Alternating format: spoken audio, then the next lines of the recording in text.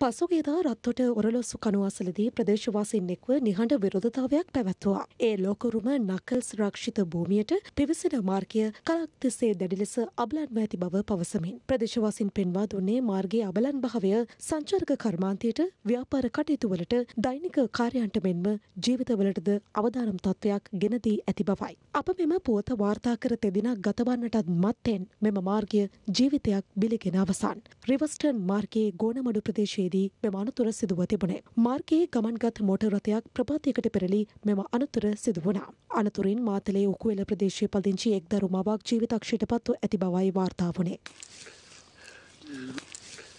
තවත් තිදෙනෙකු තුවල ලබා ඇති අතර ඔවුන් ප්‍රතිකාර සඳහා මාතලේ දිස්ත්‍රික් රෝහලට ඇතුළත් කර තිබෙනවා. අපේ රටේ නිලධහරින්ගේ ඇස් සැරෙන්නේම කිසියම් විනාශයක් සිදුවීමෙන් පසුවයි. රිවස්ටන් මාර්ගයේ අනතුරුදායක බව කොතරම් බලධහරින්ට කිව්වත් ඊට ඇහුම්කම් නොදුන්නේ මෙවැනි අපරාධයක් සිදුවනතුරුද.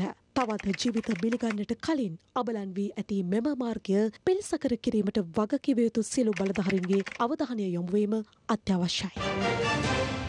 රටේ ලෝකෙ සිදුවන උණුසුම් පුව දැනගන්න සියත නිවස් YouTube චැනල් එක අදම සබස්ක්‍රයිබ් කරන්න.